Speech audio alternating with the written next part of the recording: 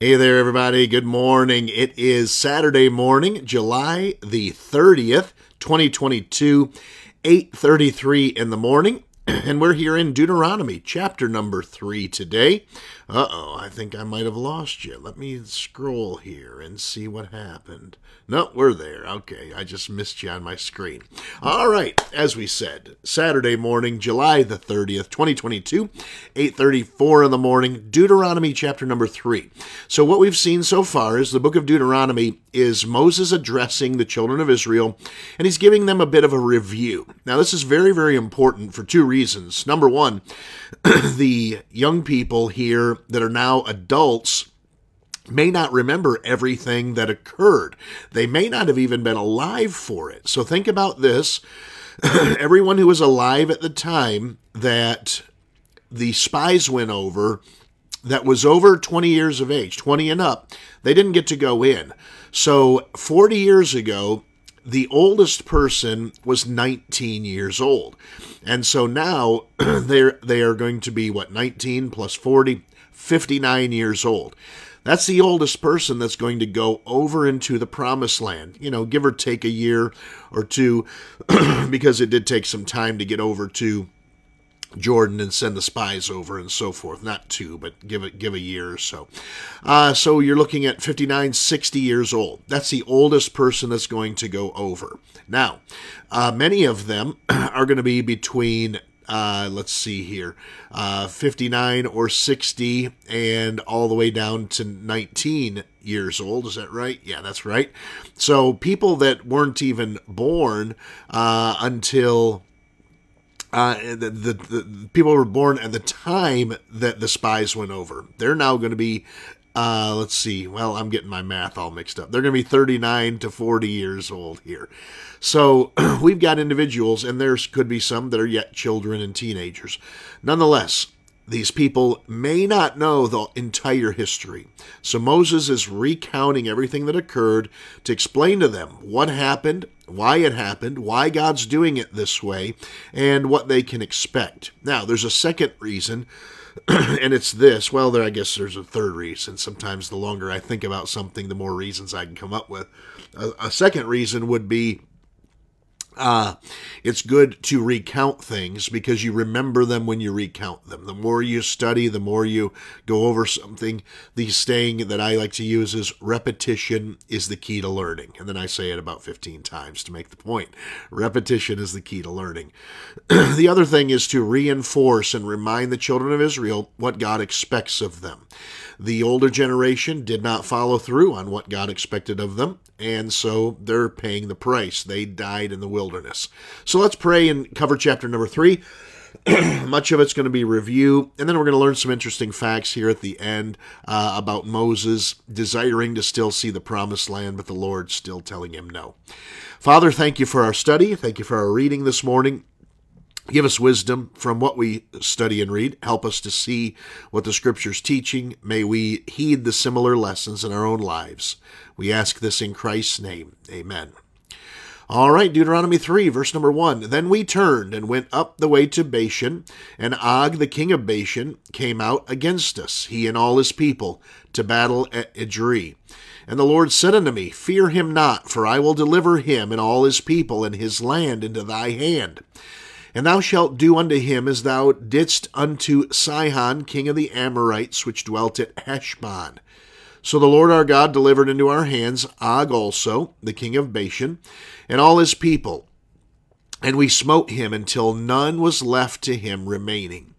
And we took all his cities. At that time, there was not a city which we took not from them. Three score cities, sixty cities, that's a lot.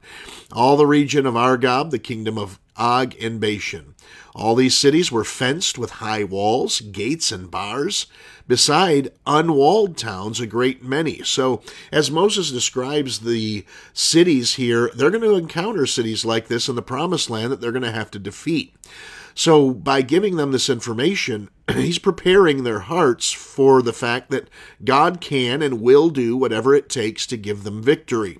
So, by hearing that there were some high fenced walls and gates in these cities that were already defeated, when they encounter Jericho with its high fenced wall and gate. Uh, they're going to be able to take that as well. Verse number 6 and, and we utterly destroyed them as we did unto Sihon, king of Heshbon, utterly destroying the men, women, and children of every city. But all the cattle and the spoil of the cities we took for a prey to ourselves. And we took at that time out of the hand of the two kings of the Amorites the land that was on this side Jordan, from the river of Arnon unto Mount Hermon, which Hermon the Sidonians call Sirion, and the Amorites call it Shenir, all the cities of the plain, and all Gilead, and all Bashan, unto Salchah and Edrei, uh, cities of the kingdom of Og and Bashan. For only Og, king of Bashan, remained of the remnant of giants. Behold, his bedstead was a bedstead of iron. Is it not in Rabbath of the children of Ammon? Nine cubits was the length thereof, and four cubits the breadth thereof. After the cubit of a man, now, I don't know what a bedstead is. I guess I should look that up and find out what it is. but whatever it is, it's nine cubits in length. Is it a bed? Uh, could his bed be nine cubits in length, which would be 18 uh, inches, which would make it uh, 13 and a half feet long? Speaking of the height of this man here, I'm not sure.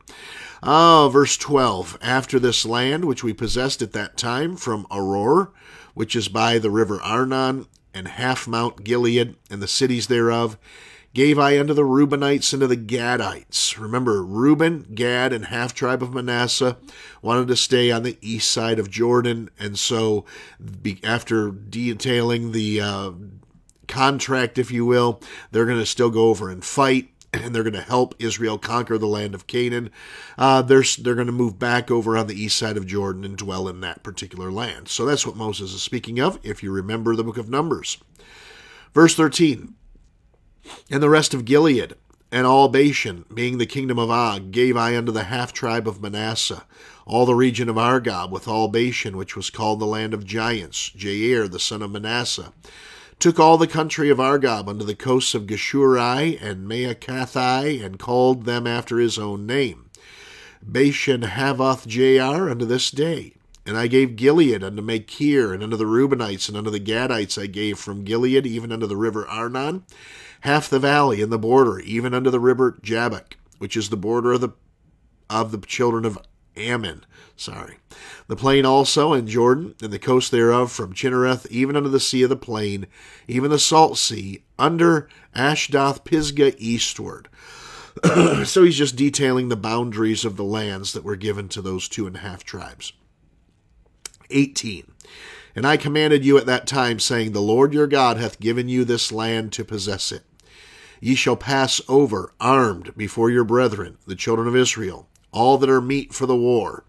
But your wives and your little ones and your cattle, for I know that ye have much cattle, shall abide in your cities which I have given you, until the Lord have given rest unto your brethren, as well as unto you, and until they also possess the land which the Lord your God hath given them beyond Jordan. And then shall ye return every man unto his possession which I have given you. And that's speaking of the contract made with Reuben, Gad, and half of Manasseh to go over and fight. They'll leave their women and children behind in their cities, but they will go over and fight and help the Israelites conquer the land. And I commanded Joshua at that time, verse 21, saying, Thine eyes have seen all that the Lord your God hath done unto these two kings, so shall the Lord do unto all the kingdoms whither thou passest. Ye shall not fear them, for the Lord your God, he shall fight for you. Boy, there's the theme of the chapter, by the way. The Lord your God, he shall fight for you. And I besought the Lord at that time, saying, So now Moses, remember, he's been told by God, because you smote the rock at Horeb twice, you don't get to go into the promised land. You forfeited that right. So now Moses makes an appeal to God. O Lord God, thou hast begun to show thy servant thy greatness and thy mighty hand. He said, You know, Lord, I'm watching you defeat these peoples and give us victory and helping us take claim to the land here.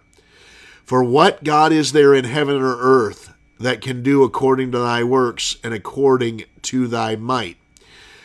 As I pray thee, let me go over. Moses is asking, Please take me over and see the good land that is beyond Jordan, that goodly mountain and Lebanon. But the Lord was wroth with me for your sakes, and would not hear me. And the Lord said unto me, Let it suffice thee. Speak no more unto me of this matter. So God gives Moses a hard no. He's wroth with him. He will not hear his appeal. And he said, Don't bring it up again. Whew, that's harsh.